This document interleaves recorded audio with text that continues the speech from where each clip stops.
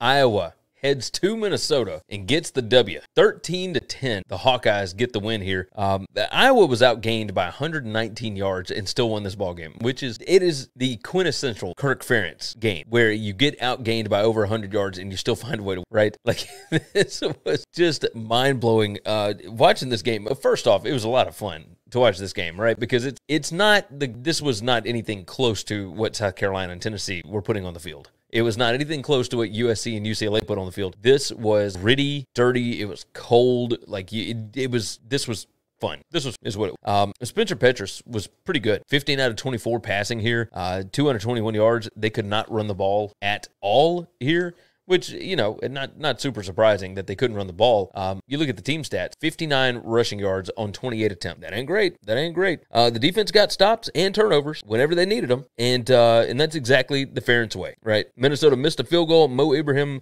Fumble on the Iowa nine. Uh, Kaliakmanis. I had this game on mute, so I didn't get to hear how you actually pronounce his name. He's the backup for uh, for Morgan, of course. Um, he came out. He was intercepted with two minutes left at the Iowa 33, and Iowa actually was able to drive 42 yards to kick a game-winning field goal. Like how this how this Iowa team wins game is beyond me. I have no words to figure out exactly how this team is capable of putting up enough point week in and week out to actually win ball game. And yet they do it over and over and over again. It, it is still to this day, uh, not Scotty, of course, appreciate it. Tosses in super chat. I appreciate that. Uh, it is beyond me how Phil Parker does not get more respect and more love from everybody around this sport because what he does, and of course the special teams as well here. This offense had 280 yards of offense. Minnesota 399 yards of total offense. And in all of it, all of it for Minnesota was uh, Ibrahim. 39 carries for 263 yards rushing, and he had a touchdown. If you put up 263 yards rushing against this Iowa defense, you have put in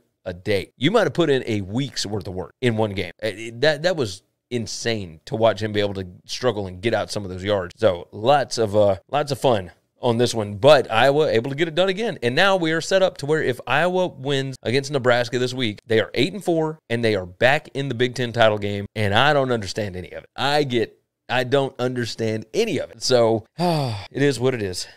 Thanks for listening to Winning Cures Everything. Make sure and subscribe on YouTube or your favorite podcast app. And make sure to leave a nice five star review. You can follow Gary on Twitter at GaryWCE and the show is at Winning Cures. Be sure to check out the merch in our web store and share the show.